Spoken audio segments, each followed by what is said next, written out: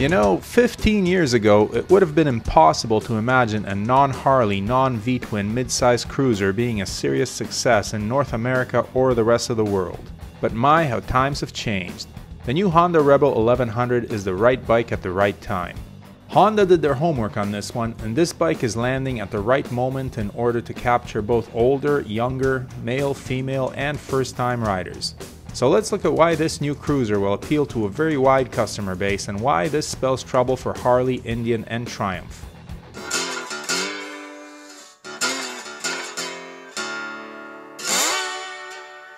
The Rebel 1100 has been in the works for a while.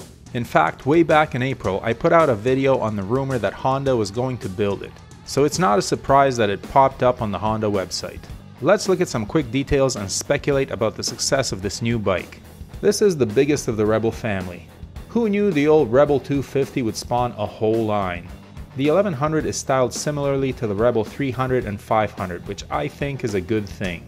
I like that it's not trying to be a another cruiser brand like some Hondas in the past. The look is modern and muscular, no chrome and nothing that doesn't serve a purpose. There is no attempt to harken back to another company's heritage. Well done. Some previous commenters on my videos don't like the tank design and the way it integrates with the frame, but I'm quite fond of it myself. Generally, you either like the look of this thoroughly modern blacked out cruiser or you don't, and that's better than having people look at it and go, meh. Strong reactions sell bikes to those whose reactions are positive. The engine is the 1084cc parallel twin from the Africa Twin with some tweaks to shift the torque curve down the rev range.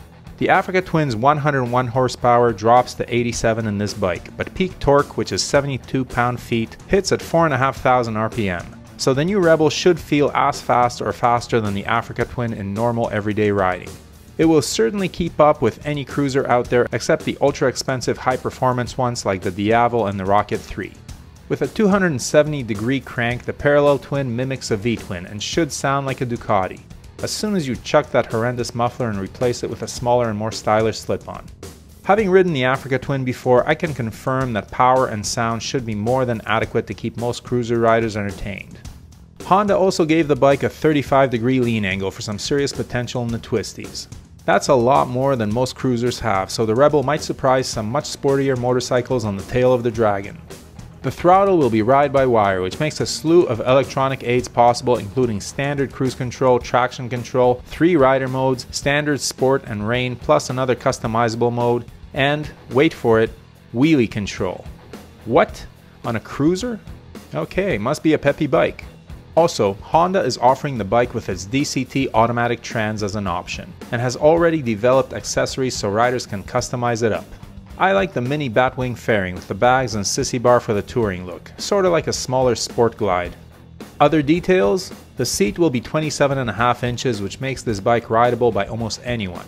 The tank will hold 13.6 liters giving it decent range. LED lights all around, 18 inch front wheel, a light 487 pound wet weight, 509 with a DCT, and it costs no Canadian prices are out yet, but in the States it costs $9,300 and 10,000 for the DCT model. Now those are some impressive specs and features, but by far the most impressive is the price. Wow, here we have a bike with similar performance and more features than the Indian Scout or Triumph Bobber for 2 to 3,000 US dollars less. Another group of bikes that will compete with will be the Sportster 1200 line which it beats in performance, features and price is definitely making a splash in the middleweight cruiser segment. So if you're a new rider or a rider on a budget or both, you can buy the Rebel for the price of a Harley Iron 883 and have a great looking and performing bike with a solid reputation for reliability and a huge dealer network that you will not outgrow down the road. Now as for new riders, a lot of people argue that a beginner should not start on an 1100 and normally I'd agree. But in this case I'll make an exception. Since this bike has rider modes, new riders can just put it in rain mode while they're learning. It's light enough, coming in 80 pounds lighter than the Sportsters and Scouts, and it's a Honda which is pretty renowned for making user-friendly, easy-to-ride bikes. The lightweight and low seat height are also attractive to riders of smaller stature, including women who may be intimidated by heavier bikes. This bike may also appeal to older riders who don't want to wrestle their 7 and 800 pound Harleys around the bends. I get a lot of comments from older riders who are downsizing their big cruisers for lighter, more sprightly bikes. The much lighter weight and the way Honda has kept the engine low is going to make the Rebel easier to handle for aging riders.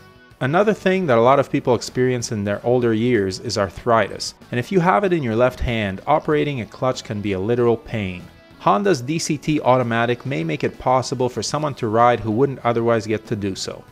So performance, reliability, price, features, lightweight, and ease of operation make this a very attractive option for many potential buyers. But can it compete with the Indian Scout, the Triumph Bobber, and the king of the middleweight cruiser class, the Harley-Davidson Sportster?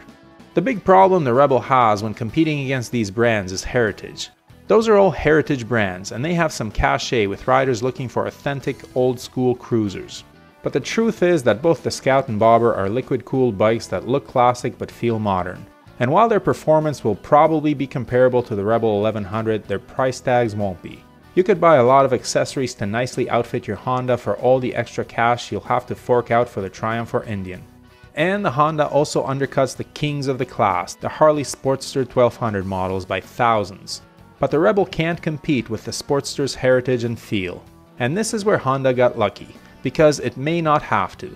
Euro 5 may have handled that already.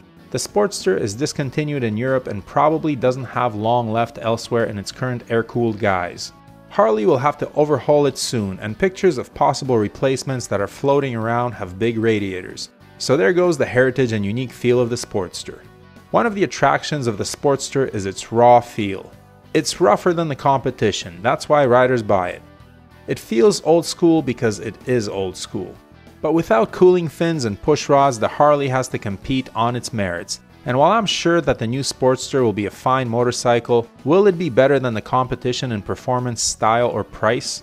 It will probably be on par, but no better so it may lose its special place in the hearts of Harley riders who have turned their backs on non-pushrod liquid-cooled bikes before, no matter what name was on the tank.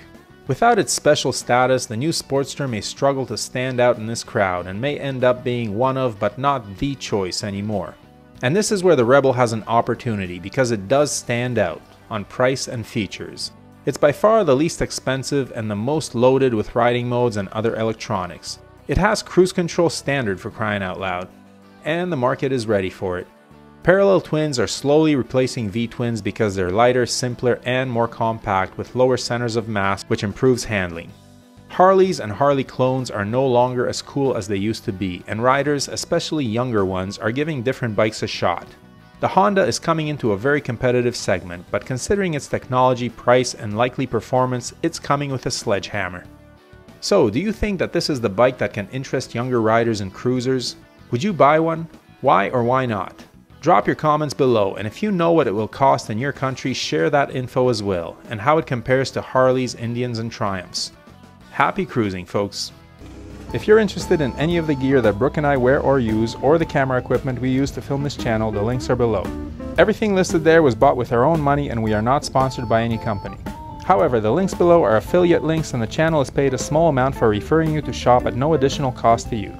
We do not recommend any products that we are not satisfied with ourselves, but we do strongly urge you to do your research and select the correct size for items like helmets and clothing. As always, thanks for watching, your support is greatly appreciated. Please hit that subscribe button, give the video a thumbs up, and leave a comment below.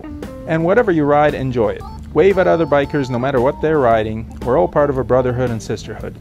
Keep the rubber side down, shiny side up, and may the spokes be with you.